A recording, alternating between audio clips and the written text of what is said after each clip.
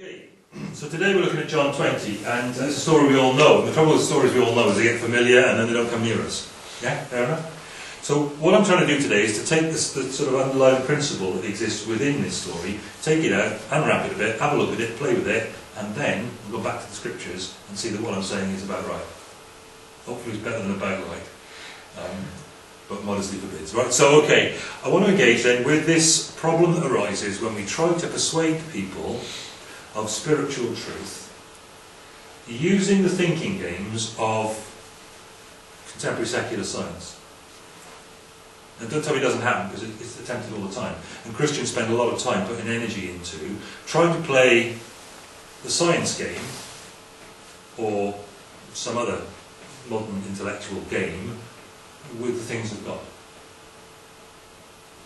With, for one of a better word, theology. Do you see what I mean?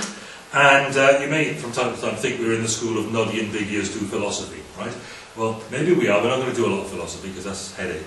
But just, just give me five minutes and see if what I'm saying makes any sense and then test it with John 20, 24 to 9 to see whether what I'm saying is actually at the heart of that passage.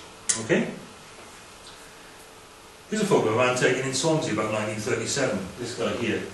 Anybody? Oh, I'll put his name on the boards and that's blown it, isn't it? Um, yeah, Wittgenstein. Now, Wittgenstein was one of these really, really brainy guys. Three of his brothers committed suicide. They're from a high-powered family. Yeah? Um, and uh, he's a guy who wrote a lot about the relationship between truth, as it exists, and language, the way we express it. Because we've only got language to express truth in. If you look at a lot of his books, the language he uses is kind of maths. And people like Bertrand Russell say, well, I think he's a genius, but I'm not quite sure I understand what he's saying. So brainy people found him very, very brainy. He taught in Cambridge for a while as part of his career, and uh, he has been foundational in writing stuff about the, the way we arrive at truth and how we understand truth. He wrote a lot about, and he's, he's so misquoted, he's so misunderstood, and he knew he would be because he's clever and abstruse and away from the rest of us. But um, he does a lot to do with what he calls language games. What it boils down to is this, any sort of discipline like uh, food science or um, building or uh, teaching and pedagogy or uh, dance has got its own language and it's got words in that language that mean certain specific things. And if you use those words in other places, you sort of cross the rules of the game. Try like this.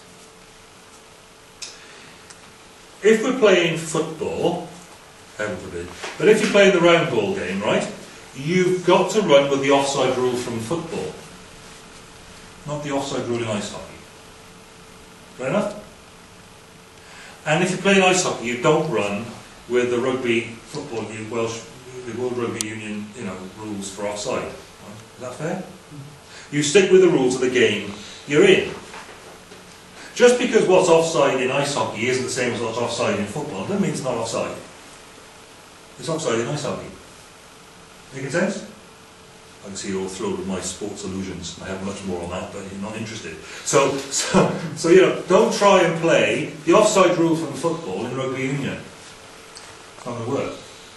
And imagine, imagine what happens if you're sitting down to play, play tiddlywinks and you start trying to play an offside rule at all. Because the offside rule says you can't play forward. You know? And tiddlywinks is all about playing forward, isn't it? It doesn't mean the offside rule in football isn't legitimate just because it won't work in tiddlywinks. And it doesn't mean that what you play in tiddlywinks is illegitimate because that's offside in football. Everybody happy? I wasn't going to hurt you. I know I used the P word, philosophy, but I wasn't going to hurt you, okay? This is where we are, and this is what we have to deal with because it's to do with knowledge and how we arrive at it. And Christianity is about deriving knowledge from God and passing it on. We have to deal with this. Why are we discussing this? We're establishing that different sporting traditions have different definitions of what's right. Different criteria for deciding what's right and true and fair and all the rest of it. So if you're in soccer, right and true is determined within the discipline of that game according to its rules. Same in rugby union, same in soccer, same in ice hockey, same in any other sort of discipline you care to mention. Chemistry, biology, physics, history, English, literature, art, even dance. Right? They all have their own criteria for what's right and what's true and the way things work. So, by way of illustration, no, there are plenty of illustrations of offside in different games. I'll spare you that. Let's talk about offside in chemistry. Because in chemistry, what's offside is stuff you cannot do repeatedly, for example. Here's what you do in chemistry to arrive at truth. You ask a question. What happens when you mix this with that? Right? I'm not very good in chemistry. And then do a bit of background research to see if anybody's written about this already. Yeah, fair enough. You work out if anybody's given you any help with it, and then you construct an hypothesis. When I mix that with that, it makes a nasty smell and goes bang. That's the popular chemistry, isn't it? Okay? Not okay. That's my hypothesis. Right then, let's test my hypothesis. Great. Fume covered. Big cloud of smoke, yellow or green or something horrible stinks the place out and everybody leaves the room. Fantastic. Success. You've tested your hypothesis by doing an experiment. That's not good enough. You've got to then go along and do that again.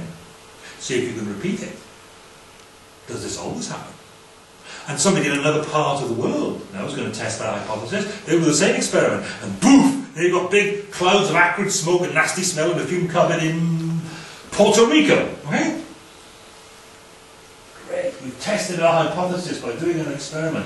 We're going to analyse our data. It went bang there and stank. It went bang here and stank. Here's the conclusion. Here's my report. Was my hypothesis correct? Yes! It went bang, made a smoke and stank. That's your criterion for proof in chemistry. Do you want to try using it in history?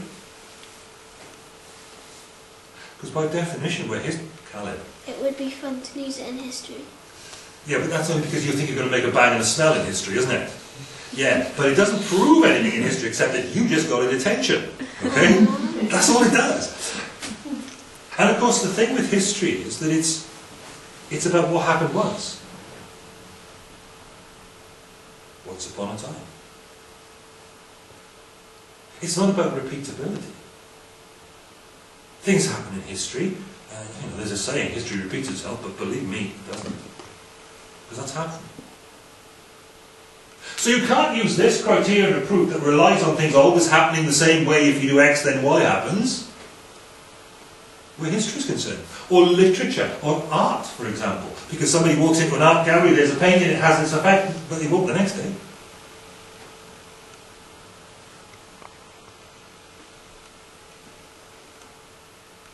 By definition, things that happen in history well, it's dealing with once only non-repeatable events. And my friend I'm talking to about Jesus, he wants proof about Jesus, but he won't accept the system of proving things that applies to past events. He's only prepared to analyse, for example, the reliability of the accounts for the resurrection using the rules of natural sciences.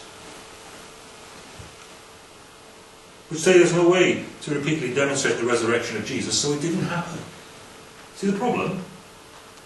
And this is the naturalistic fallacy that we're buying into all the time in our apologetics, in our trying to persuade people that Christianity is credible. of course, if you look at what Jesus says about what makes Christianity, Christianity credible, he says, they'll know we're Christians by our love for one another. Paul says, they'll know the genuineness of our apostleship and our Christian faith by precisely what we're prepared to put up with in his name. There's a biblical apology. Are we prepared to give an answer for the hope that's within you? Yeah, but it's got nothing in there about philosophical apologetics. Adopting tools that don't actually fit that discipline to support the reliability and the credibility of what you're saying about Jesus, his death and his resurrection. Demanding scientific proof for the historic events that lie at the heart of the Christian gospel is always going to be a bit like insisting on playing tiddlywinks using the ice hockey offside rule. Going to work. You've gone outside of what the discipline is and does. And that, here we go, back to the Bible, that is precisely, well, pretty much what Thomas is trying to do in this passage that we're looking at in John chapter 20. See, Thomas is demanding scientific proof for the historic events that lie at the heart of the Christian gospel. And Jesus is calling for faith and repentance on the basis of credible eyewitness testimony. And meeting with him in the Spirit, but not in the lab. Thomas is looking for material evidence, and that negates the whole big faith issue at the core of what Christ is about, what he says to us. Okay. the first disciples needed to meet the risen Jesus. They needed to see him, to be able to be the eyewitnesses of his resurrection glory. But Things are changing. The whole game, if you like, is that Jesus is going back to glory. And whilst meeting him is the big life-changing event for those first disciples, and for us, of course, the completion of his mission requires he rise from the dead and go back to his Father in glory, and you won't see him anymore. Now we trust that he's that we meet him, but we meet him as we encounter him as the Spirit comes and deals with us from the Word of God in our own lives, day by day by day. It's a different game. Those rules don't apply in this game. It's a different game. Do you see what I'm trying to say? Now, Thomas is saying, I want to play by the old rules. I want to play by material proof. I want to play by the evidence of my eyes, the feel of my hands, the touch. And Jesus is saying, because you've seen me, you've believed. Blessed are those who have not seen, and yet have believed. Why? Because they belong to the future. Because they belong to where we're going here. This is the future of the new covenant, people of God. Meeting Jesus, but not by sight and touch, by faith, in the Spirit, on the basis of a different sort of evidence, which applies to what's happened here. The point Jesus makes in verse 29 is precisely that. Now that's not to say what he's saying there, because you've seen me, you believe, blessed are those who have not seen and have not believed. That's not to say there's not evidence. But there's evidence out of a different game. And it's not less legitimate because it's out of a different way of looking at things, a different criterion for truth. What happens for so many people is they simply commit this logical error of demanding authentication of something that's appropriate to one academic discipline, if you like, while they're operating in another academic, uh, academic discipline altogether. Does that make sense? So now let's get down to John 20. First of all, there's missing Thomas. You've all heard with a certain sort of Thomas, right? Well, the first problem is not that. The first problem is not that Thomas doubts. The first problem we've got here is that Thomas is missing. Where's Thomas? The others are in this room, and Jesus walks in, and peace and joy breaks over the place. They were overjoyed when they saw the Lord. He came in, he said, Peace to you. Fantastic. What peace? I just walked through, you know. Hmm. What? Spooky. And Jesus said, Peace to you. I can't bring you peace. Yeah, it's outside your previous experience. Here we go. Peace to you. And the disciples are overjoyed. Overjoyed when they see the Lord. Where's Thomas? Well, he's not. He's not there. So here's the scenario.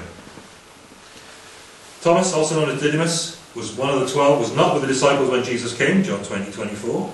So the other disciples told him, We've seen the Lord! I bet he was thrilled. He dead chuffed. Don't you, don't you think? Oh, fantastic, that's great then. That's, oh, lovely, I'm thrilled for you. Yeah, no. no. Here's a scenario. Thomas, you do not have the testimony of your own eyes to the physical resurrection of Jesus Christ from the dead, but they have. Thomas, you do have the clear, credible eyewitness testimony of people you trust to that physical resurrection of Jesus Christ from the dead. And if you have the will to do so, and that's, that's very much the issue as we'll see in a minute, if you have the will to do so, although you can't see him, you can definitely go and see where he's been. You can go up the road and you can have some material indication that something strange has happened. Because up the road, Thomas, there's an empty tomb. And you know that round cartwheely door stone thing that was rolled down against it? Well, that is now completely wrecked and devastated and over there. Because it's been lifted up and blown away. And frankly, in, in the local psychiatric unit, there's a bunch of soldiers who, who, have had the fright of their lives. And they're getting counselling from the Jewish authorities, which involves large amounts of silver, by the way. Um, you, can, you can go and check stuff and you can see there's something going on here. It won't prove to you that Jesus has been you know, raised from the dead. You don't have will to believe it, but there's evidence. If you have a will.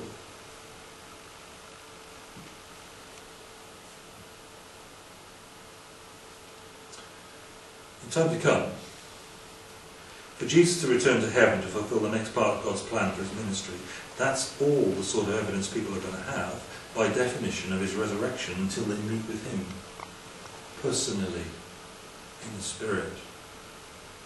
They'll have the same credible testimony and, and then they'll have meeting Jesus by the Spirit in the relationship that's born of regeneration and faith. In the world of sense, but not in the world of sight where chemistry and all those things go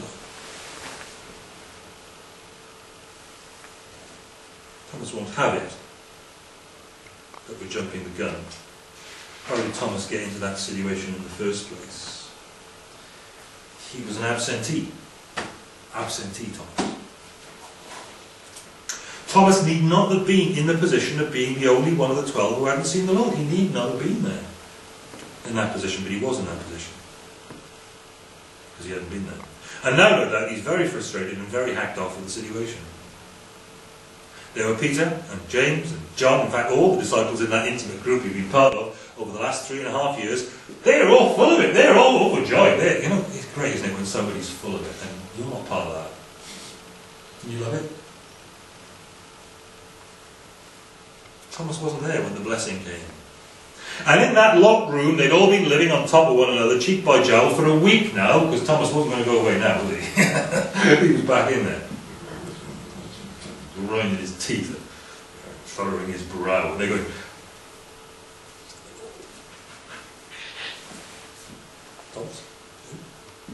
And high fiving one another quietly behind his back, you know? And every now and again, doing the washing up, doing a little dance, but they think Thomas is looking.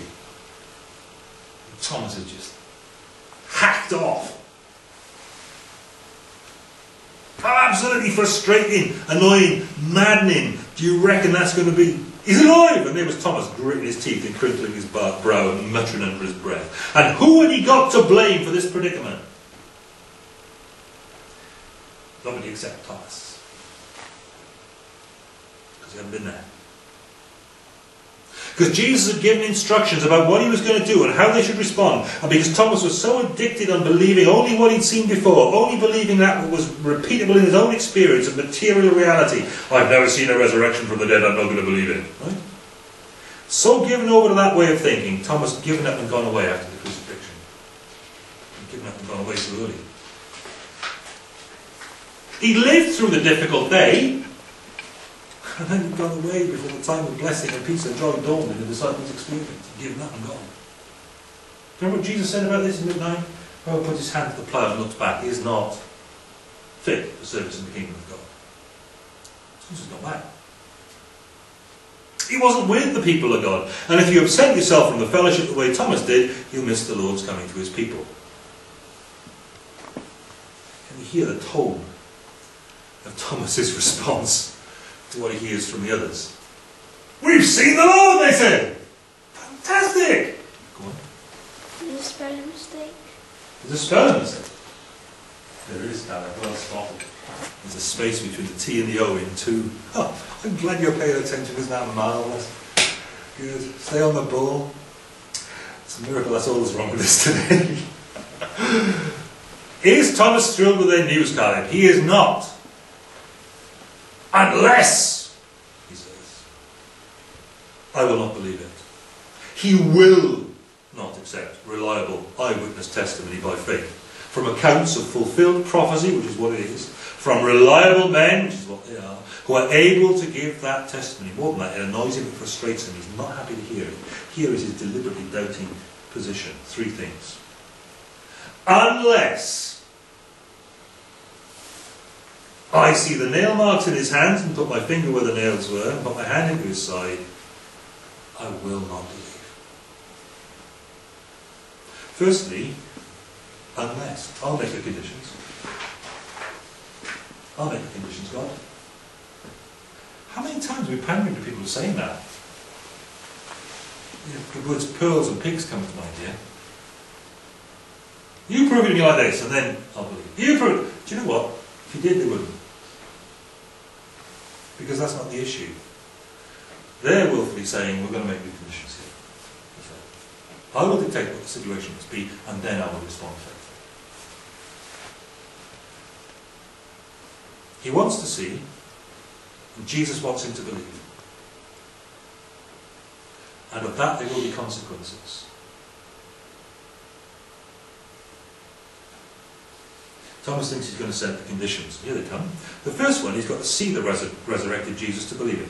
I've got to see it to believe it. Unless I see the nail marks in his hand. That's the first thing. And the second one is he's got to have not only sight, but touch. He wants touch as well. Two sorts of inappropriate evidence when Jesus is calling for faith. Not just one, but two. Nail and spear wounds. Three things here.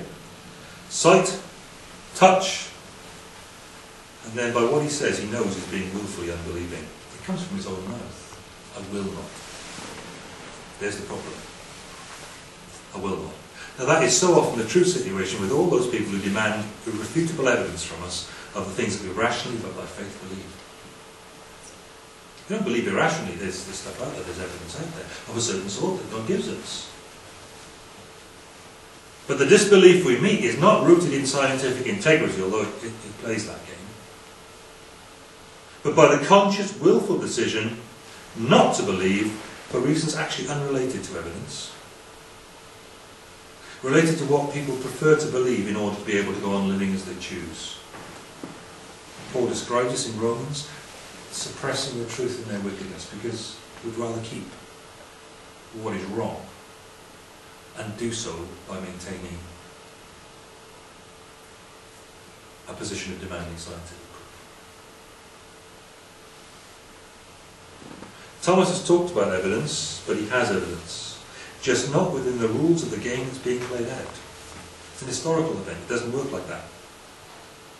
He doesn't like the class of evidence that he's been given, and he's not prepared to respond to that by faith. He will not believe. He's having a putty, actually, let's face it.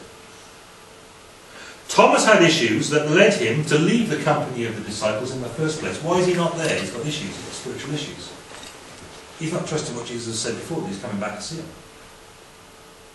He's got spiritual issues already, that's why he's not there in the fellowship of the disciples in the first place. You know as well as I do, when you've got issues with God, you don't want to be with God's people. Do you? You don't want to be there. He's willed and chosen to be somewhere else. And there were going to have been reasons for why. And there are times when we're ill.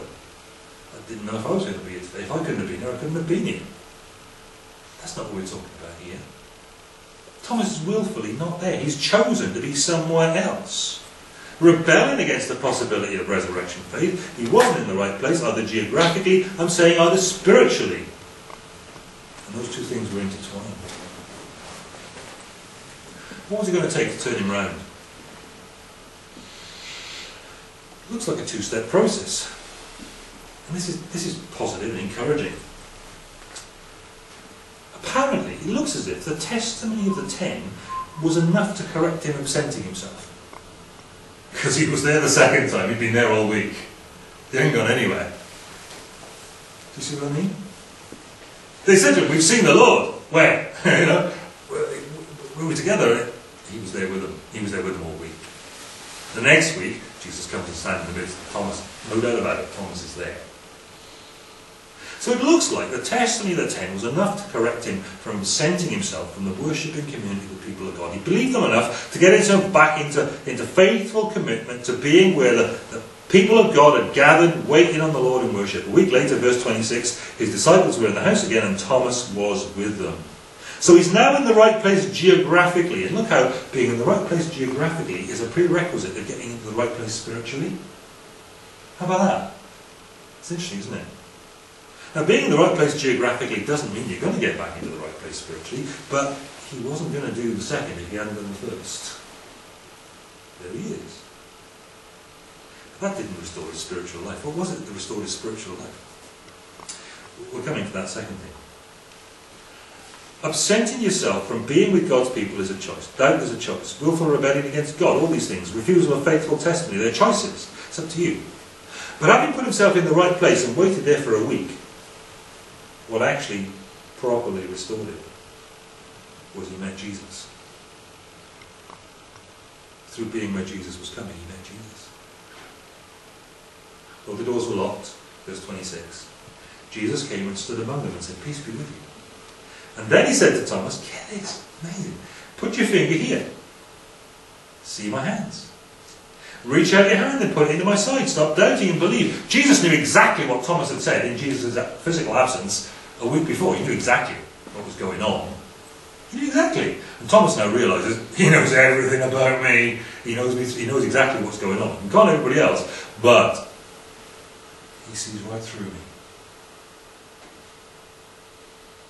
And Thomas said to him, My Lord and my God. Now, There, there is not, there's, there's nothing here that tells us that he touched Jesus. Seems irrelevant, he's met Jesus. There he is. And it changed Thomas's will decisively and irrevocably. That was it for Thomas. He worshipped Jesus. Worshipped Jesus. Do you know everything else in the Christian life flows out of this? I'm not saying, you know, certain sorts of songs and certain sorts of things happening in churches, and, you know, is the source of everything else. But actually, worship, however you express it, everything else flows from here trusting Him, following Him. It all flows from meeting Jesus and falling in worship with Him. My Lord and my God. If He's my Lord, if He's my God, then all these things are going to follow you. You see what I mean? How's worship going? I had a meeting with some JWs on Tom's doorstep. Was it yesterday, Callum? Yeah. And, you know, just great to have a chat. Uh, I think Tom probably had time in his hands and was prepared to, you know, engage them in conversation and, and to speak with them and talk to them. But it became quite evident, quite really, they had no joy in what they were saying. There's no joy in that. There's worship in meeting with the living Jesus, who is my Lord and my God, by the way. Okay, where's the conclusion of this sermon? Jesus told them, here's the conclusion. Jesus told them, because you've seen me, you've believed. Blessed are those who have not seen and yet have believed. When? Then. Then. When Thomas's insistence on having his own criteria for evidence, his own choice of what he'd accept as true, overcome by his personal authentic encounter with Jesus. Then. When Thomas gave up on quitting the presence of God's people when the pressure was on and committed himself to seeking God's presence amongst his people. Here's why internet church is never going to work. All you can do is support and help. Fellowship and the meeting together of God's people. Meeting together of God's people is key to all of it because Jesus says, you know, where two or three are gathered together, there am I in the midst. Where's the presence of God to be found? In the midst of his worshipping people. From the Psalms onwards. It's community in the presence of Jesus around his word. That's why. Why? Because Thomas's willful rebellious insistence on inappropriate classes of abstract truth in inverted commas, because it was overcome in the evidence of reliable testimony and personal encounter with the risen Jesus. What would have been better? Not to have seen, but just heard the testimony and met in an encounter mediated by the Spirit of God Himself and believed. Better? Better, because that ties faith up. That, that involves the faith that puts you right with God. Sight doesn't put you right with God, faith puts you right with God. More blessed? Why? Because that is the full-on, prophesied, life-changing, new covenant way. Faith isn't faith, not sight, is the authentic new covenant future, Thomas. And Thomas is now going to be such a powerful part of realizing that. Thomas is going off, we believe, into South Asia, into India. Tradition tells us, you know, what we've got of it. Tells us he went and then started off the church down in the south of India. The guy's going to give his life in the cause of this gospel. Now that he's met this risen Jesus. Than that, now he's trusted him. Put his faith in him. So what are the lessons for us here? I, sometimes when I'm, I'm sort of thinking through sermons and stuff, I, I try and sort of put in a pithy little sentence. Perhaps you'd be more grateful if I brought you more of those pithy little sentences and less of the other stuff. But um, I, I sort of tweeted this thing. I thought, this is here, it goes. When God's people meet, be there, because He will. Does that make sense? God meets us in the, in the fellowship, in the presence of His people as well, in a particular way. And, and there's a lesson Thomas has learned. And then in matters of faith and life, you know, when we're trying to reason with people, when we're trying to show them Christ, don't buy into the naturalistic fallacy that's at the heart of the scientific method, that everything works on a natural basis and always will go on the same way. Because if there's a God, then he comes in and he alters that bit, because it's his world and he runs it anyway. And if he's sustaining all things by his powerful word, he only needs to put in a sort of a, a little phrase somewhere and it changes. And it'll happen differently. God intervenes in his world. From time to time. Normally he lets it all work so that the scientists don't have nervous breakdowns, right? We can't have all chemists clogging up the mental hospitals. But that's not all there is to it. In matters of faith, don't buy into playing the FIFA offside rule in tiddlywinks, because that's nonsense. And look at this. Faith formed in genuine encounter with Jesus, day by day by day, is the heart of what Christ is looking for from us. There'll be practical lessons here to learn,